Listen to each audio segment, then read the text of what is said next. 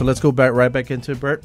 So what is SEO? What is this SEO that everyone's always don't lie to us. Yeah, Okay, don't lie, well, don't I'm going to go ahead and read you the definition right from Wikipedia if y'all do it, think Wikipedia is a credible source. I edited it earlier.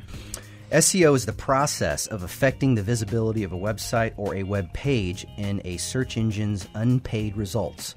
Often referred to as natural or organic or earned results, not to be confused with pay per click. So, everybody probably knows that what Google AdWords or pay per click done is. that, for sure. Top of the page on the right. or, Okay? or on the top, on the top yeah, or the, the top right. or on the right. You got it. That's paid. and it's pink or yellow usually, right? Yeah, you yeah. got a little yellow ad sign there. Mm-hmm. Organic search results are the meat, the middle of the page. That's Sure. where you see the Google pluses and the websites coming up. You got to earn that, and Mm-hmm. That's with content. That's with content And video. Uh, that's with a whole bunch of factors. And I know we're on the radio here, but I have the periodic table of SEO success factors. It's a ton. And you have to do a lot of stuff regarding the website Sure. and a lot of stuff off of the website to make Google favor you as an authority for the niche that you're in to make you rank above your competitors or below. Sure. Tell us a little bit more about how this works.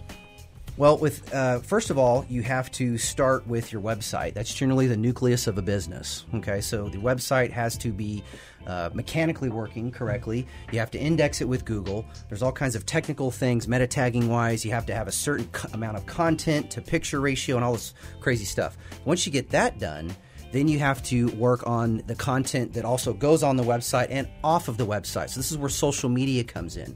Social media, you know, your website is like the sun. Social media is like the planets revolving around the sun. It, it gains interest and sends people along with videos to your website, driving traffic, like we talked about before, Right. uh, creating engagement. And look, when people come to a website, you want it to convert, right? You just don't want them to look at it and go, oh, this is neat. You want them to either call you, set an appointment, uh, opt in for a newsletter, or get on your list. You, know, Right. you want to build the money's in the list still, Right. And that's I know that's old school talk, but Sure. still in the list. Yeah. So this is ongoing stuff that you need to do, and this is why a lot of people hire marketing companies. So, why other reasons do you think it's so important to work with a marketing firm? And when should you start working with okay, one? That's probably a better yeah, question. good question. Uh, it, it's a full time job. Right. Okay, so most people are running their business like we talked about. They don't have time to keep up with this this uh, environment that's changing every month. Google changes their algorithm all the time, which is the secret code that says you're going to rank here and your competitor is going to rank there.